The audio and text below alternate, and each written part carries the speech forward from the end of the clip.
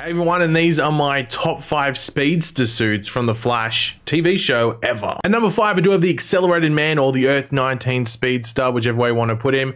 Incredibly comic accurate, though he was never really in a comic, but it just looks so cool. The fact we never got to see more of him is so disappointing, but maybe in the series finale he might make a random appearance, who knows. At number four, pretty fittingly, I have the season four Flash suit. Really cool design, much different than what we'd seen before. The only downside, it was a bit baggy. And number three, maybe a bit of a surprising one, the Impulse suit, the Bart Allen suit. I think it's a really, really good suit. Uh, and it's a shame we didn't get to see him in the final season. And number two, I have the new Reverse Flash suit that we got introduced to last season in season eight in Armageddon. However, with a bit of a clause to it, when Grant Gustin wears it. And then at number one, this shouldn't be too much of a surprise, but it's the current Flash suit that we have at the moment on the show, the Flash's final suit that we'll see on the show with the gold boots. It's perfection. It's the best live action Flash suit. But let me know your opinion. What's your favorite speedster suit? Is it a Flash suit? Is it someone else? Let me know.